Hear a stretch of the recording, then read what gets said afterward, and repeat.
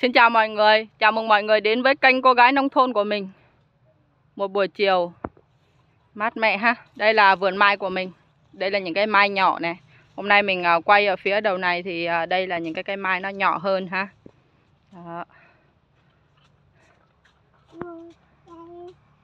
Mai của mình thì nay đang à, phát triển rất là xanh tốt Tương đối kín tàn và đẹp rồi ha.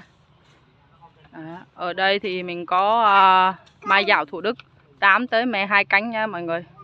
Đó. Ở trong vườn mai bây giờ trời tốn tìm được rồi. Cây đang ra đọt rất nhiều. Đó. Đây quay cho mọi người xem ha. Hiện tại thì à, vườn mình có 100 gốc mai Bông thì 8 tới à, 12 cánh. Hoa thì à, có cánh tròn, cánh nhọn ha. Cây thì 30 cây ờ, gốc bự. Đây mình quay những cây gốc bự như những cây này nè. Vô chậu à, 5, 6 à, tấc ha. Còn lại thì à, bảy mấy cây gốc trung trung Đó. Những cây này rất là bự luôn Chiều cao của nó bây giờ là gần 3 mét rồi mọi người. Đó. Và tương đối kín tàn rồi.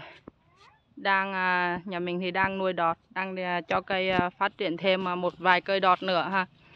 Bây giờ là mới có mồng 6 tháng 4 À mùng 6 tháng 5 chứ.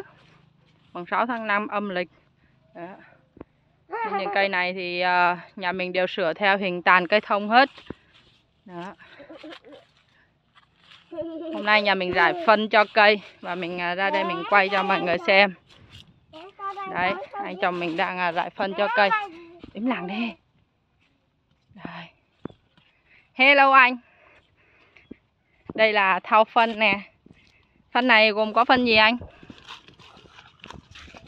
Hả? Ừ, rồi à, phân gì màu đen đây?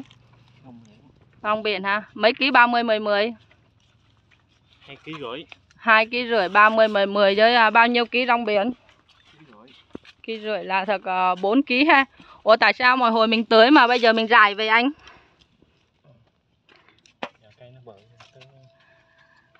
giờ mình rải được hay ha như vậy là một cây này rải được tầm uh, bao nhiêu ta?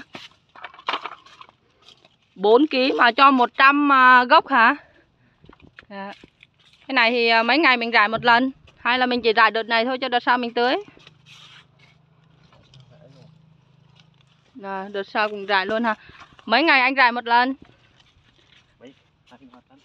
Tới đó tính hả? Tại sao lại nói vậy đây là những cái chậu mình rải này. Hai ký hai ký rưỡi 30 10 10 ha.